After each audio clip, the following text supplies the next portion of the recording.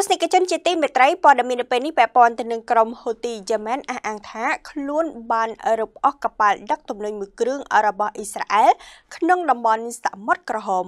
តែទោះបីជាយ៉ាងណាក៏ដោយការអះអាងនេះត្រូវបានបដិសេធភ្លាមៗពីអ៊ីស្រាអែល។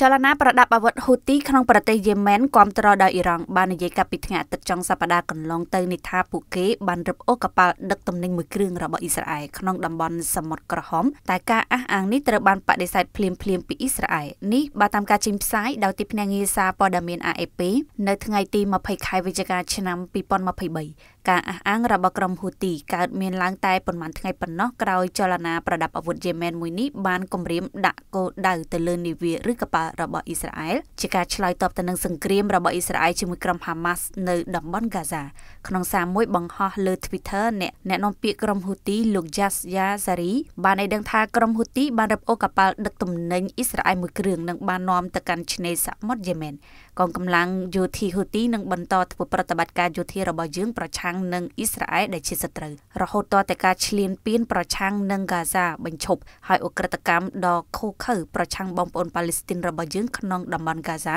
និង West Bank ត្រូវបញ្ឈប់នេះជាការបញ្ជាក់បន្ថែមរបស់លោក Jas Yasari ក៏បញ្ជាក់ថាបើតាមមន្ត្រីយេម៉ែនម្នាក់ក្រុមហ៊ូទីបាននាំកប៉ាល់ដឹកទំនិញខាងលិចទៅកាន់កំពង់ផែសាលីហ្វនៃទីក្រុងហូដេដាគ្រប់គ្រងដោយក្រុមហ៊ូទីតែមិនបានបញ្ជាក់លម្អិតពីអត្តសញ្ញាណមនុស្សលើកប៉ាល់នេះឡើយចំណែកខាងអ៊ីស្រាអែលបានបដិសេធថាកប៉ាល់នេះមិនមែនជាកម្មសិទ្ធិរបស់អ៊ីស្រាអែលហើយក៏មិនមានពលរដ្ឋអ៊ីស្រាអែលណាម្នាក់ស្ថិតនៅកប៉ាល់នេះនោះដែរ តាមអាញាធរអ៊ីស្រាអែលកប៉ាល់នេះជាកម្មសិទ្ធិនៃក្រុមហ៊ុនមួយរបស់ចក្រភពអង់គ្លេសនិងប្រតិបត្តិការដោយក្រុមហ៊ុនជប៉ុនហើយបានចេញដំណើរចាក់ចេញពីទូគីឆ្ពោះទៅកាន់ប្រទេសឥណ្ឌា